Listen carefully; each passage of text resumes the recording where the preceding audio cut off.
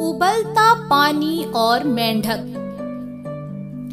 एक बार वैज्ञानिकों ने शारीरिक बदलाव की क्षमता की जाँच के लिए एक शोध किया।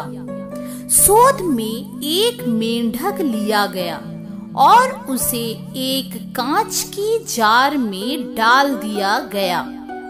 फिर जार में पानी भरकर उसे गर्म किया जाने लगा।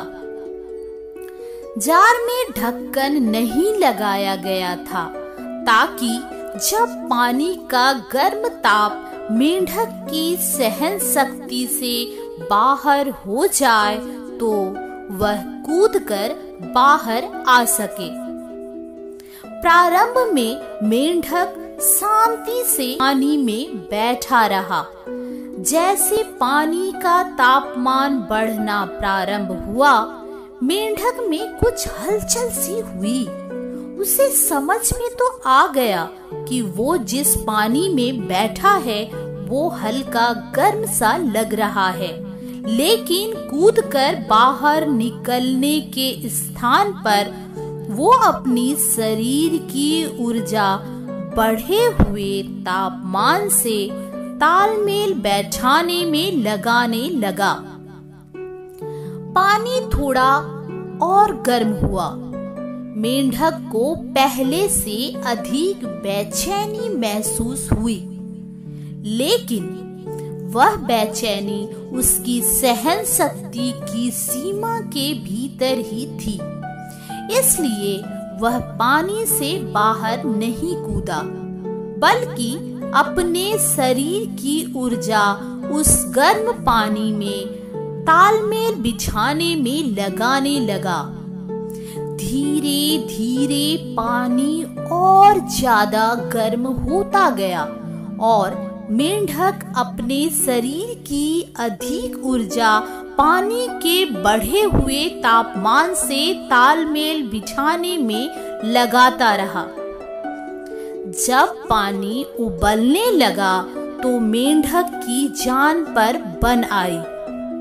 अब उसकी सहन शक्ति जवाब दे चुकी थी। उसने जार से बाहर कूदने के लिए अपने शरीर की शक्ति बटोरी, लेकिन वह पहले ही शरीर की समस्त ऊर्जा धीरे धीरे उबलते पानी से तालमेल बिछाने में लगा चुका था। अब उसके शरीर में जार से बाहर कूदने की ऊर्जा शेष नहीं थी।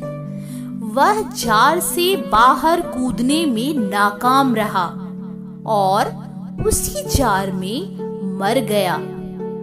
यदि समय रहते उसने अपनी शरीर की ऊर्जा का प्रयोग जार से बाहर कूदने में किया होता तो वह जीवित होता।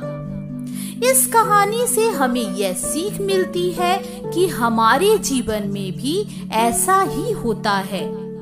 अक्सर परिस्थितियाँ विपरीत होने पर हम उसे सुधारने या उससे बाहर निकलने का प्रयास न कर उससे तालमेल बैठाने में लग जाते हैं।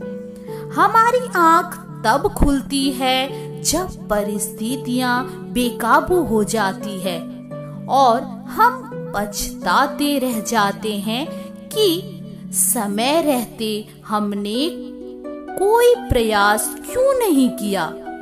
इसलिए प्रारंभिक अनुभव होते ही परिस्थितियाँ सुधारने की कार्यवाही प्रारंभ कर दे। और जब समझ आ जाए कि अब उन्हें संभालना मुश्किल है तो उससे निकल जाए। परिस्थितियों से लड़ना आवश्यक है, लेकिन समय रहते उससे बाहर निकल जाना बुद्धिमानी है। कहानी सुनने के लिए धन्यवाद।